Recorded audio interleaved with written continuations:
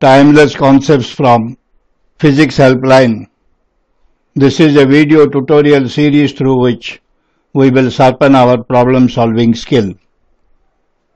In this video tutorial, we will discuss a multiple choice question with only one correct option on the center of mass of a given system of particles.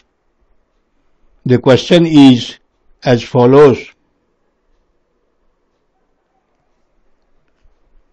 Three particles of masses 50 grams, 100 grams and 150 grams are placed at the vertices of an equilateral triangle of side 1 meter as shown in the figure. Then the coordinates xy of the center of mass of the system is. The options are 7 by 12 meters, root 3 by 8 meters, root 3 by 4 meters, 5 by 12 meters, 7 by 12 meters, root 3 by 4 meters and root 3 by 8 meters, 7 by 12 meters.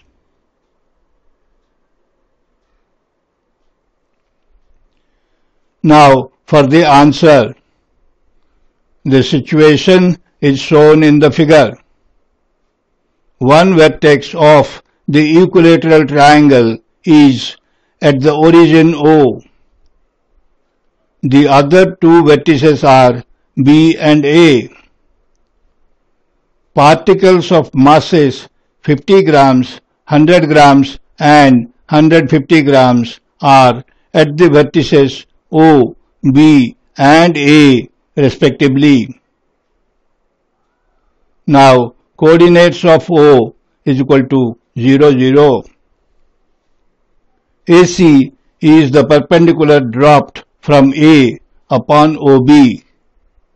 Therefore, C is the midpoint of OB.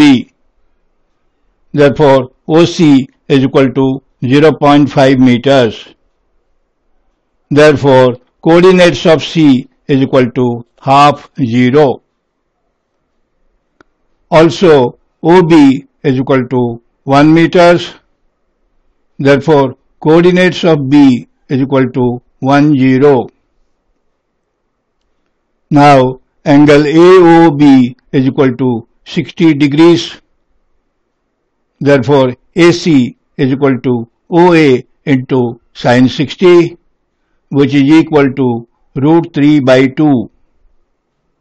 Therefore, coordinates of A is equal to half root 3 by 2.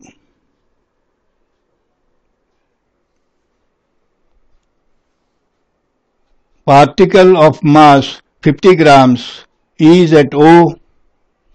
Therefore, we write M1 is equal to 50 grams and X1, Y1 is equal to 0, 0. Particle of mass 100 grams is at B. Therefore, we write M2 is equal to 100 grams and X2, Y2 is equal to 1, 0. And particle of mass 150 grams is at A.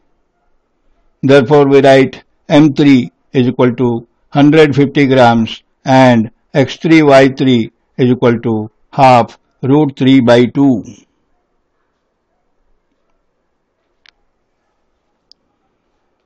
Now, by definition of center of mass, if masses m1, m2 and m3 have coordinates x1, y1, x2, y2 and x3, y3 respectively, then the coordinates of center of mass is given by x is equal to m1 x1 plus m2 x2 plus m3 x3 divided by m1 plus m2 plus m3 and y is equal to m1 y1 plus m2 y2 plus m3 y3 divided by m1 plus m2 plus m3.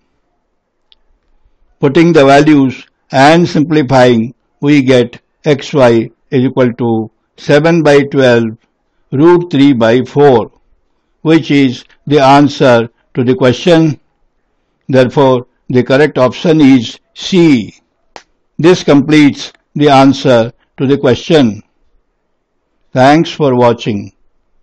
If the video is helpful, then please like, share and subscribe.